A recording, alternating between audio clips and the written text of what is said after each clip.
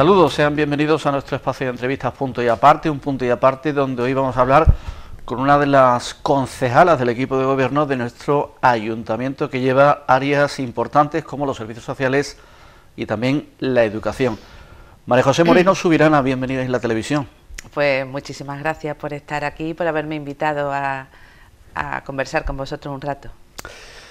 Bueno, pues cuatro años de mandato llevando, como decíamos, áreas importantes, delegaciones importantes como los servicios sociales, con la que está cayendo, pues, eh, momento clave y también otro asunto importante como la educación. Estábamos viendo antes de comenzar la entrevista imágenes de hace más o menos cuatro años cuando fue la presentación de la lista del PP. También tenemos imágenes del acto de, ayer mismo cuando el PP también presentaba su lista.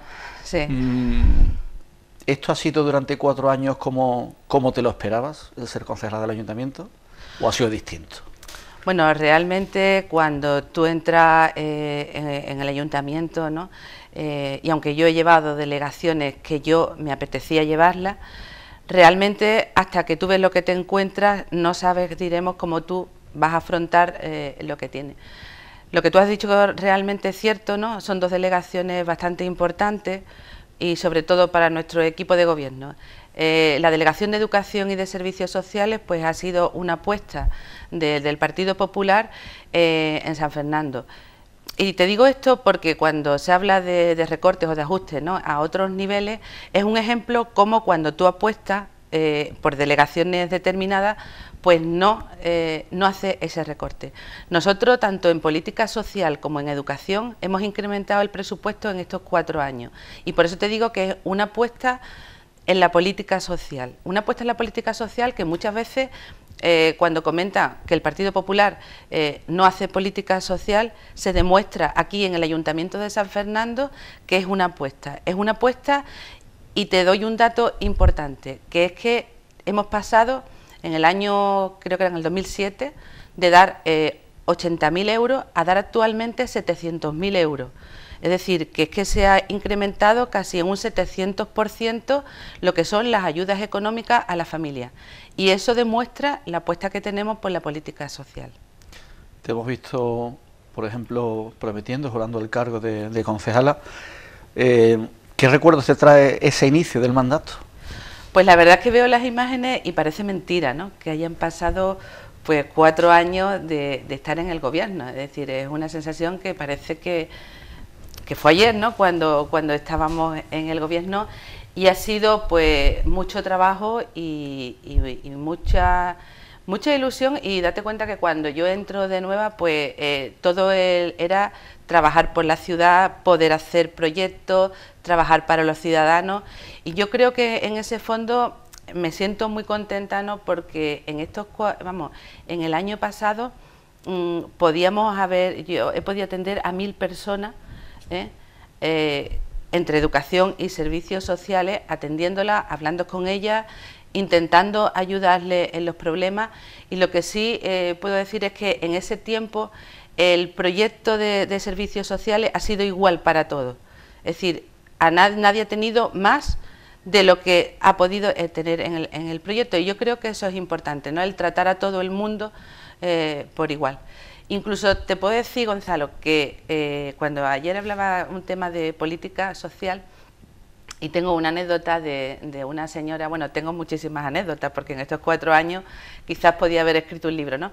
Pero hay una, hay una anécdota que, es importante, que me vino una señora que se había separado, no tenía recursos, el hijo había eh, perdido eh, pues las ganas de estudiar y tampoco estudiaba. Entonces me decía que estaba fracasada como mujer, como esposa, como madre, no tenía recursos, el hijo. Y tú en esas situaciones, ¿no?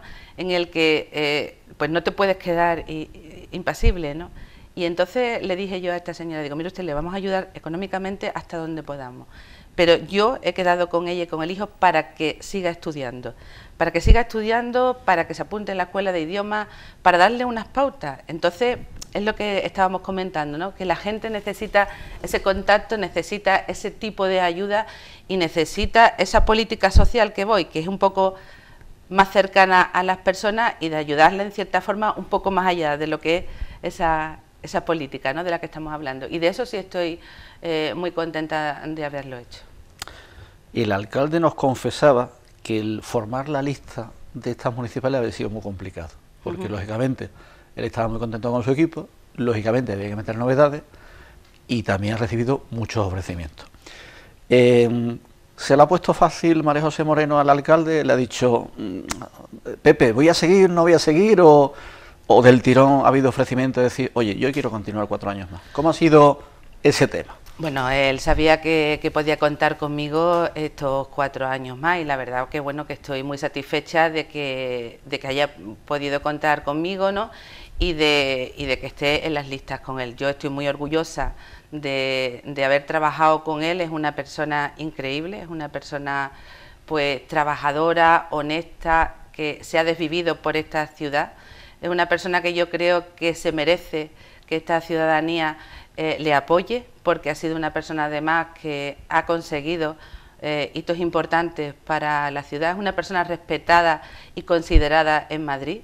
¿Eh? Ahí tenemos el Hospital de San Carlos que está abierto, Campo Soto que sigue abierto y, todo lo que ha conseguido en Avantia también, con todas las gestiones que ha hecho y merece, merece que la gente le dé ese, ese voto de, de, poder seguir cuatro años para poder recoger todo lo que se ha podido sembrar estos cuatro años, ¿no? porque gobernar cuando todo va bien es muy fácil, pero cuando la época no es bollante y te encuentras con una serie de complicaciones, todo pues es mucho más complicado. Entonces, el gobernar como él, lo ha hecho, eh, controlando el gasto, eh, dirigiendo, exigiendo, mm, trabajando en equipo con nosotros, como tú comprenderás, el que me lleve las listas, pues para mí es un orgullo el poder seguir trabajando y poder ver el fruto sobre todo de lo que hemos sembrado en esta ciudad durante este tiempo.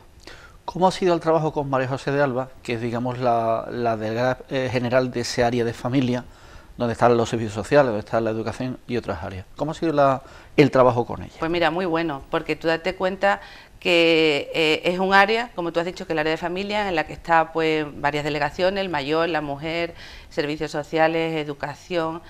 Y, la verdad es que si hemos trabajado en algo también es que no hay una delegación que no tenga una transversalidad quizá con otras delegaciones, tanto del área de familia como en general de, todas las áreas. ¿no? Y yo creo que el trabajo en equipo es importante para poder sacar adelante los proyectos. ¿no? El, tener esa conexión de, poder pues, bueno, contar con una persona, poder hablar, ver un problema, poder resolverlo y en ese sentido pues, ha funcionado muy bien. ¿Y la familia qué dice de que sigamos cuatro años más? Pues la verdad es que mm, yo en este sentido tengo bastante suerte porque ya mis hijas son mayores y, bueno, yo creo que también están encantadas de, muchas veces de verme y además te cuenta que por ejemplo en educación yo he hecho cosas en las que ellas pues han participado porque han ido con los colegios, con los institutos y, cuando le dice, tu madre es la delegada, pues entonces ellas pues se sienten bastante orgullosas de, que esté ahí, ¿no? Y yo la verdad que muy contenta que, también es importante que se tenga el apoyo de, toda la familia en este sentido, ¿no? Que sepan que tienes un acto y que llegas tarde, que tienes que hacer la tarea y después vemos, por ejemplo, eh, si tienes algún problema y en ese sentido no tengo ningún problema, es decir, mm, lo llevamos bien. ¿Por qué no ha sido buena la relación con Cristina Saucedo, con la delegada de Educación? En teoría, eh, condenados a entenderse junto a Andalucía y Ayuntamiento, no solo por el tema de los colegios antiguos colegios de defensa, sino por la realidad de todos los colegios de San Fernando. ¿Por qué no ha habido ese, esa buena relación que se debería de haber tenido quizás? ¿Por qué?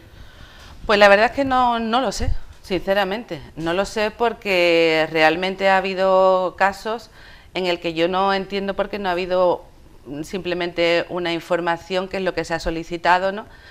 Por ponerte el último ejemplo, le solicitaba pues las líneas que se habían puesto quitado en San Fernando, le había pedido los listados de las vacantes de los colegios para poderlo publicar en la página web y facilitarle a los ciudadanos ese tema, le había pedido con el, plan OLA, por ejemplo, que me dijera en, en los momentos determinados cuándo iba a haber obras para poder saber el mantenimiento, por ejemplo, de verano, cuándo se iba a poder hacer.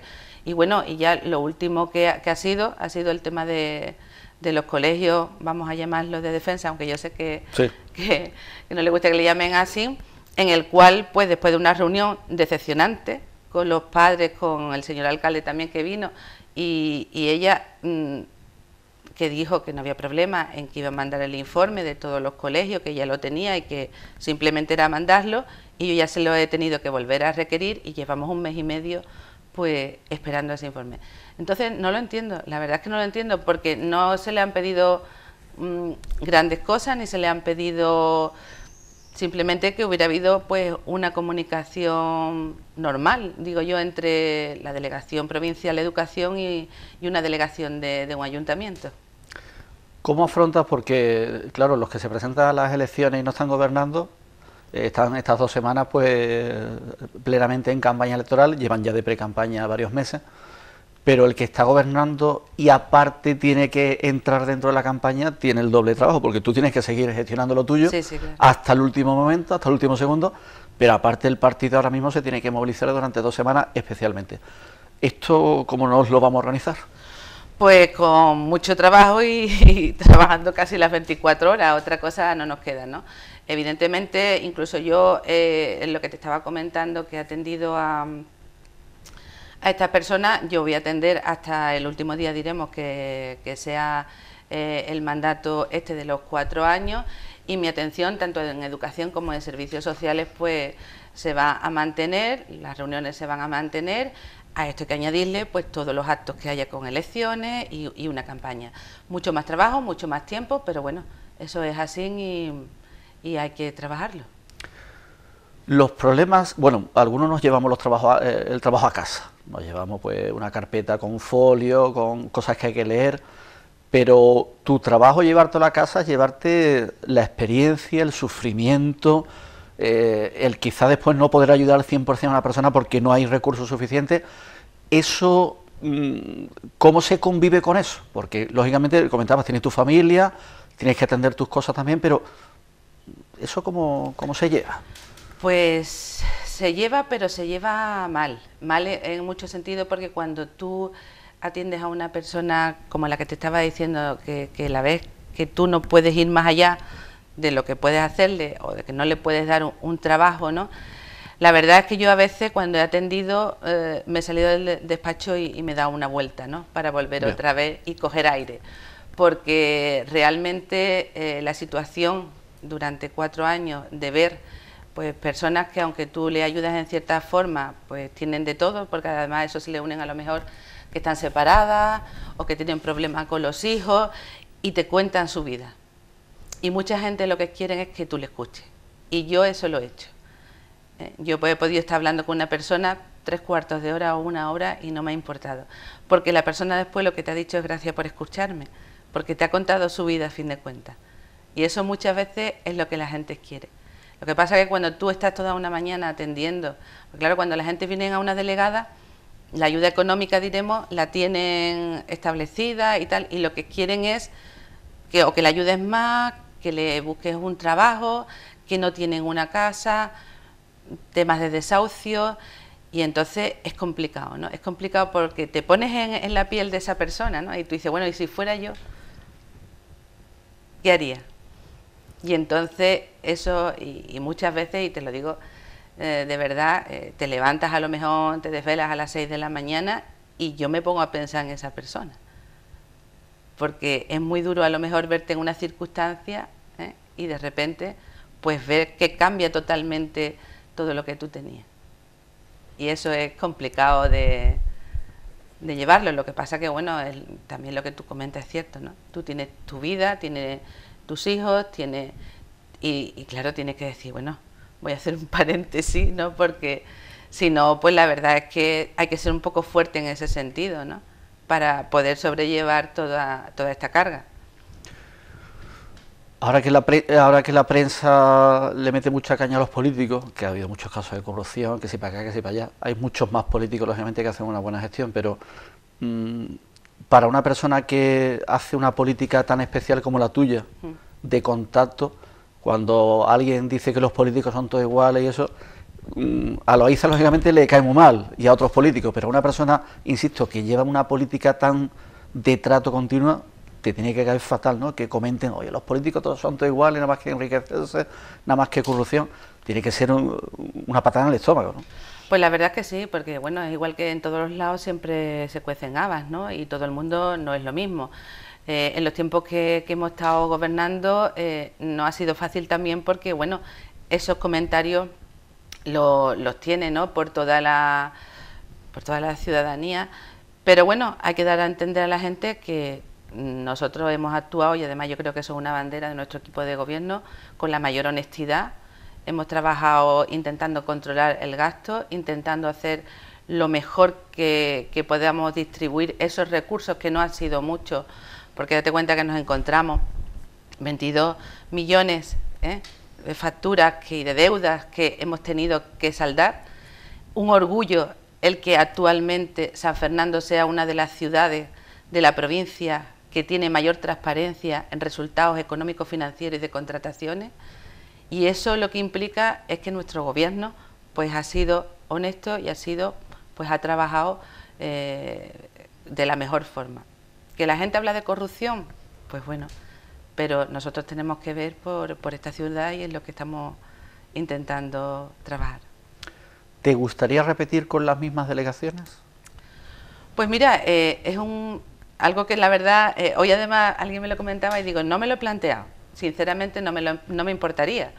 No me importaría porque la verdad es que yo en educación eh, he disfrutado muchísimo con los proyectos que hemos llevado a cabo. Eh, hemos hecho muchas cosas dentro de lo que hemos podido hacer.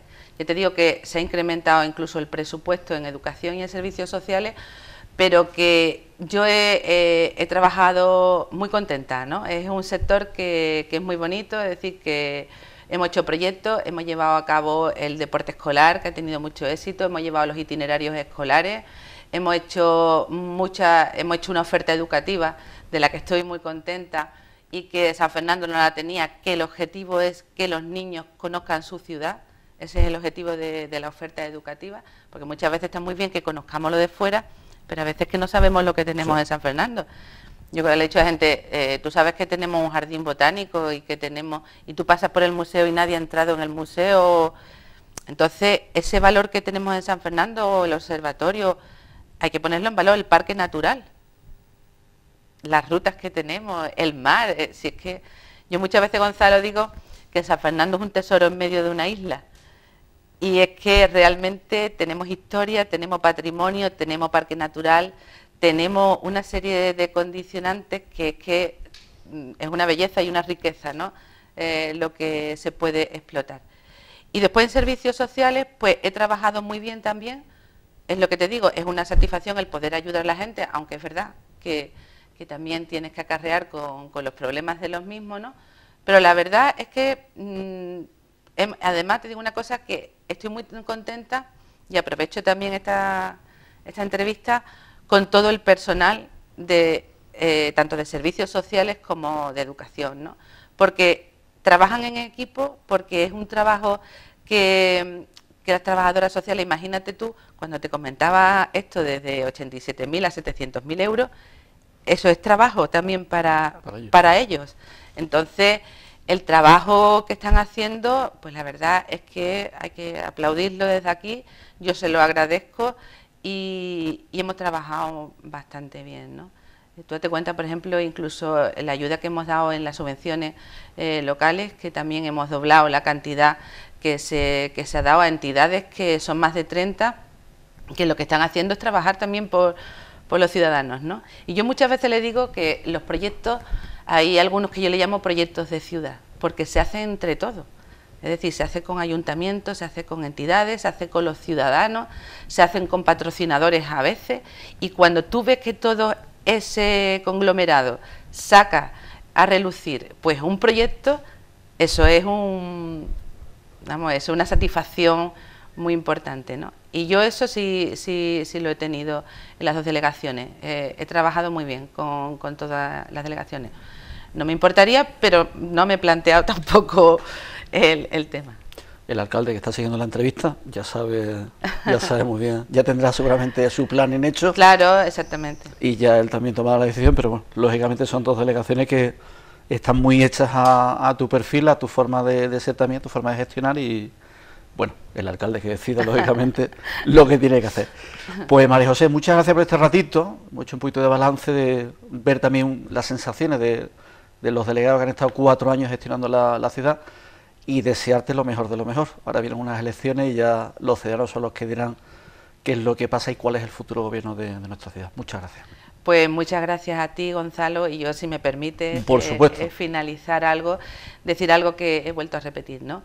Que, creo que, el alcalde de esta ciudad eh, es un hombre que se merece gobernar cuatro años más, se merece que vea todo el fruto de lo que estos cuatro años que han sido muy complicados, eh, vea renacer en San Fernando todo ese trabajo que se ha hecho. Creo que la gente tiene que tener un voto eh, responsable entre tantos partidos que, actualmente hay y ver que este equipo de gobierno junto a él pues hemos trabajado por ello, ¿no? por hacer que los recursos sean los más óptimos posibles y por preparar una ciudad sobre todo para lo más importante, Gonzalo, que es el crear empleo. Es decir, eh, lo fundamental, lo fundamental es que esta ciudad genere empleo y en eso estamos, ¿no? En crear estas bases para que eso sea posible. Y yo creo que, que esperemos que la gente le dé esa confianza, porque yo creo que por el trabajo que ha hecho, y te lo digo sinceramente, porque se ha desvivido por esta ciudad, se merece que, que los ciudadanos le den ese apoyo. Delegada, muchas gracias. A ti. Pues hasta aquí llegó esta entrevista, este punto y aparte, con la delegada de Servicios Sociales y también de Educación de nuestro Ayuntamiento, María José Moreno Subirana. Muchas gracias a todos por su atención.